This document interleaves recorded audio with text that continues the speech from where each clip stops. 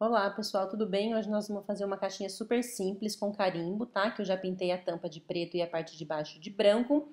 É o carimbo das minhas parceiras, da Marina e da Eneida, da Loucas por Caixas. Vou deixar o e-mail delas aqui na descrição do vídeo. Se você tiver interesse em receber o catálogo via e-mail, é só mandar e-mail para elas, tá bom? E os carimbos escolhidos foi esse de rendinha e o de arabesco, tá? Que nós vamos trabalhar na parte de baixo da caixa. E para começar, eu vou dividir, como sempre, né? Que eu adoro fazer uma divisão na caixa. Mais ou menos a largura da renda, para que quando eu tirar a fita, parece que tem uma renda de verdade colado nela. E para isso, a gente vai esticar a tinta preta numa bandejinha de isopor. Vai pegar o carimbo, vai pressionar para que toda a tinta entre no carimbo e vou dar a primeira carimbada no pedaço de papel para saber se tá tudo direitinho. Aí eu estico de novo, que agora eu já vou passar para a peça, tá? Pego lá a minha tinta, aí eu vou posicionar direitinho na peça, na parte de baixo, com a rendinha virada para baixo, obviamente. Aperto e levanto, tá? Agora eu vou pegar mais tinta para dar continuidade. Aí eu tenho que acertar bem direitinho agora para aparecer que é uma renda mesmo. Então, eu não posso sobrepor e também não posso deixar um, um intervalo aí no meio das duas faixas, né? Então, olha, eu posiciono e levanto. Vou fazer em volta da caixa toda, sempre pressionando direitinho para não ficar borrado, né? E se por acaso borrar, porque o meu, meu já borrou também, é só pintar e fazer de novo. Vou tirar a minha fita, tiro da volta dela inteirinha.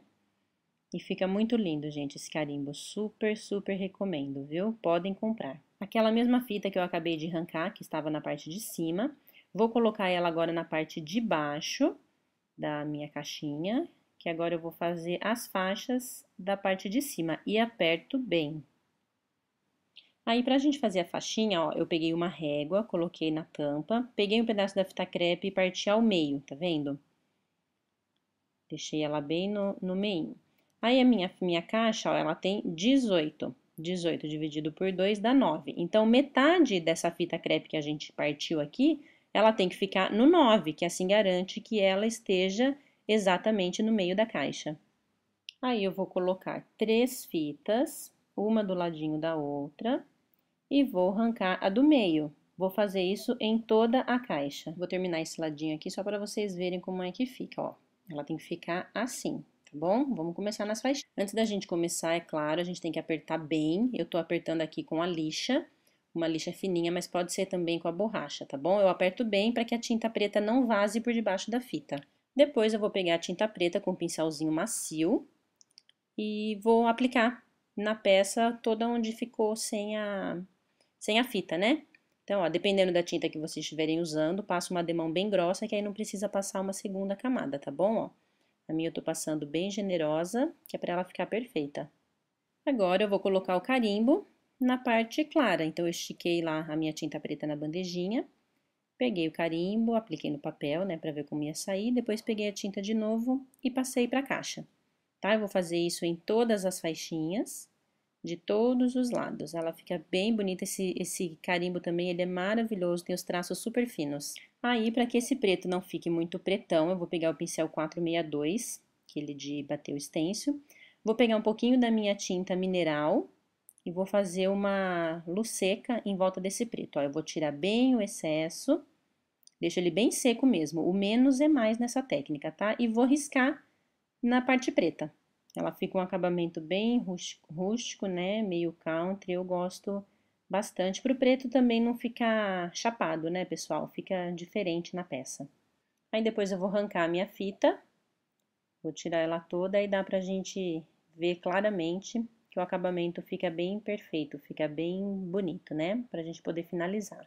Aí, para dar o acabamento nessa junção de fita e renda, né, eu vou colocar um pedacinho da fita de cetim. Então, no mesmo processo que eu já expliquei para vocês em outro vídeo, vou colocar uma pontinha, um pingo mesmo da cola instantânea, Aí eu coloco ela na caixinha. Ela vai dar uma dançadinha, a cola ainda tá bem molhada, né? Vou segurar com a tampinha e vou deixar ela secar totalmente para eu poder esticar a fita. Estico totalmente, com bastante força mesmo, que é para apertar, para a fita ficar bem, bem justa, né? E não dançar. Aí eu faço bastante força, esticando, coloco a fita lá na cola, me certifico de que ela está no lugar certo, né? E coloco a tampinha para segurar e deixar secar. Depois de seco, eu venho e corto com a tesoura, aí ela dá esse arremate, tá? Que a gente vai fazer o lacinho Chanel, que eu também já ensinei em outro vídeo, tá bom? Aí depois eu já fiz o meu lacinho, já colei na caixa. Vou colocar aqui um arremate no meio, ó, que eu tenho esses chatons, não sei se vocês vão conseguir ver direitinho, ó, é um brilhinho quadradinho, tá? Então, eu vou colocar ele no centro do meu laço, que é para poder dar um acabamento e a peça ficar mais charmosa. Aí, depois eu só dou uma fofadinha, né, no meu laço, e ela fica assim, super delicada a parte da frente. Agora, a gente vai fazer a decopagem na tampa. Aqui, ó, eu colei a fita crepe na medida do meu papel, porque eu vou fazer a decopagem com a cola branca, porque esse papel é aquele Pride francesa, ele é grosso, e o preto é um saco para ficar limpando depois a marca de cola, então eu prefiro fazer assim, tá? Vou colocar a cola branca, vou esticar, né, com o pincel 456, o pincel de cerda dura, e vou passar o rolinho para deixar a cola nivelada. Posiciono o papel na, na, no meio da minha caixa, né, acerto ele direitinho e tiro a fita, que mesmo tirando a fita, a gente ainda vai ter que dar uma acertada nele, porque a cola também ela tá bem molhada ainda, né, então ele acaba dando uma dançada.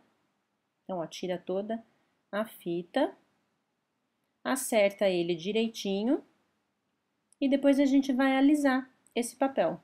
Alisa com uma espátula do meio para fora para tirar todas as bolhas e todas as imperfeições da peça. E a parte da colagem está prontinha, tá vendo? E não borrou nada de cola. Agora eu quero compartilhar uma dica com vocês, ó, tá vendo que eu já coloquei a fita, né, na peça e agora eu vou invernizar. Como que eu faço para invernizar quando eu já coloquei o, o acabamento, tá? Então, ó, eu já mostrei pra vocês no outro vídeo qual é o verniz que eu uso e como é que eu faço, né? Então, ó, eu vou passar o verniz acima da fita, vou passar o rolinho pra tirar excesso, ó, e vou passar na parte de baixo. E mesmo assim, se esse verniz pegar na fita, como o meu pegou, ele não mancha, tá, pessoal? Então, se você quiser deixar um acabamento bem bacana aí, é até legal passar por cima, que o meu eu passei por cima e não, não manchou nada. E daí eu faço isso, que às vezes a gente quer terminar logo a peça, né? e não quer esperar envernizar, aí eu faço dessa maneira. O verniz é, em cima do papel, pessoal, esse que eu uso, ele enruga, tá? Um pouco. Então, o macete que eu falei para vocês no outro vídeo que eu ia ensinar nesse aqui, sobre esse verniz, é o seguinte. É, a gente não passa o verniz em cima do papel direto, então eu vou passar ao redor da minha tampa.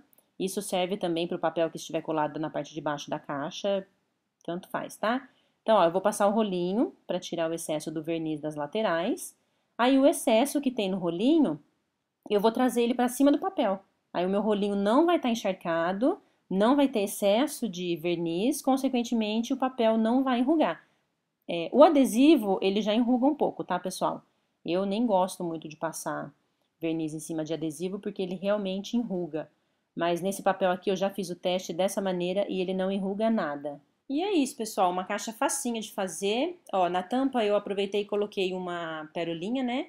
Já passei a fita no preto mesmo, na minha caixinha, que eu quero que a renda lá de baixo que destaque, né? Já pintei por dentro com preto também. E é isso, a caixa foi essa, bem simples, bem fácil, com parceria das minhas queridas Marina e Eneida, da Loucas por Caixas. É, eu espero que vocês tenham gostado. Se vocês gostaram, cliquem em gostei. Compartilhem para me ajudar na divulgação e muito obrigada. Até o próximo vídeo. Um beijo!